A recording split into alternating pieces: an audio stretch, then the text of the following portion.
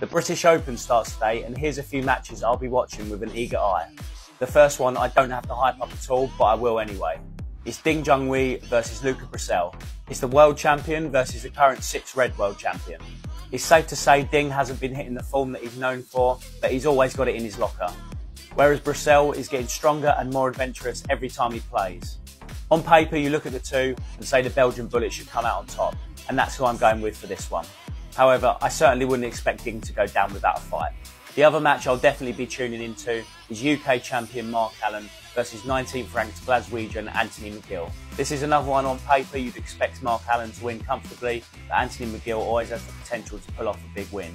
Let's not forget in last season's World Championship, McGill came through qualifying to beat Lisowski and Trump before eventually losing out to semi-finalist Si Jiahui. I think the pistol is too strong and he is on the form of his life at the moment. I think it'll be a great match and it'll go down to the wire. What day one matches are you looking forward to the most? Let me know in the comments and thanks for watching.